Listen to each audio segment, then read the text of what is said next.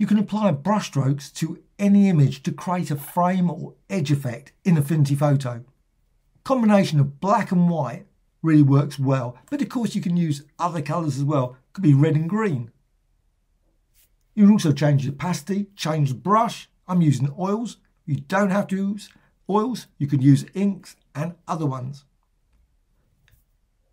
Key thing is layers. Just makes it easier just to delete it. So if you don't like the layer, also you can add effects.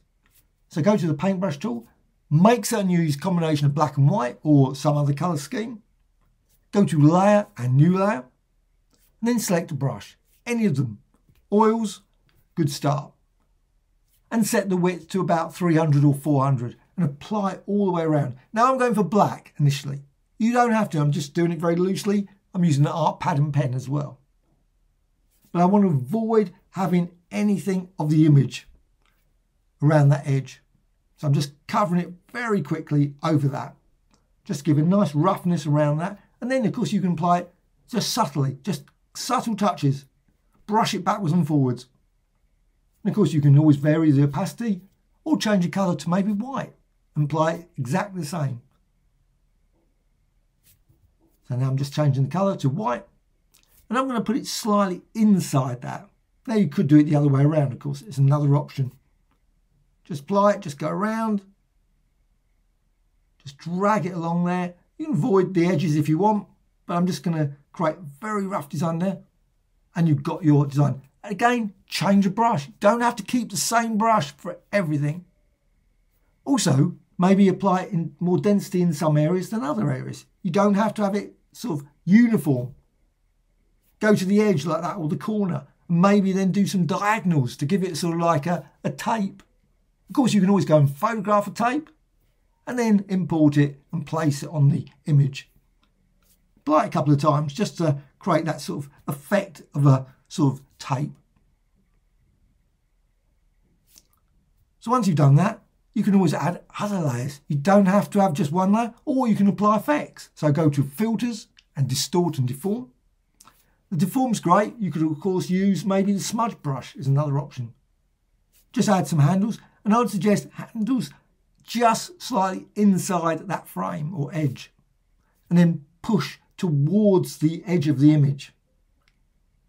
Just avoid stretching it and pulling it away so you can see the photo beneath it.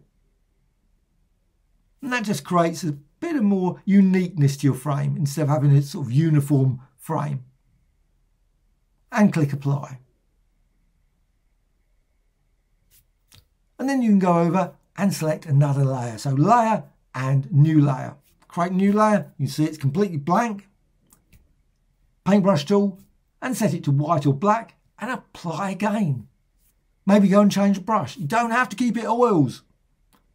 Just apply it all the way over, all the way around. So you've got that lovely design all the way covering the edge.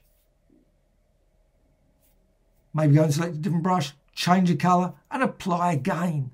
Maybe this time black. Again, you can change the opacity as well. You don't have to keep it 100%.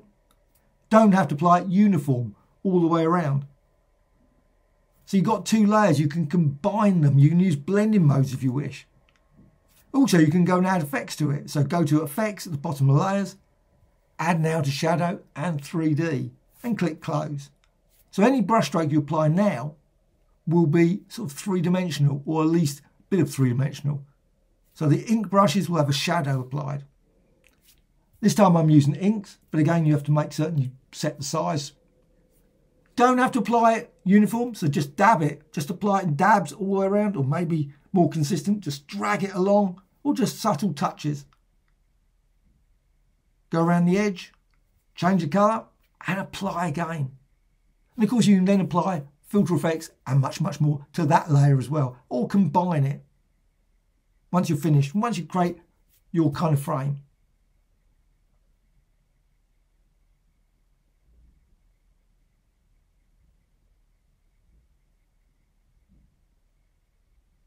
and flatten the image.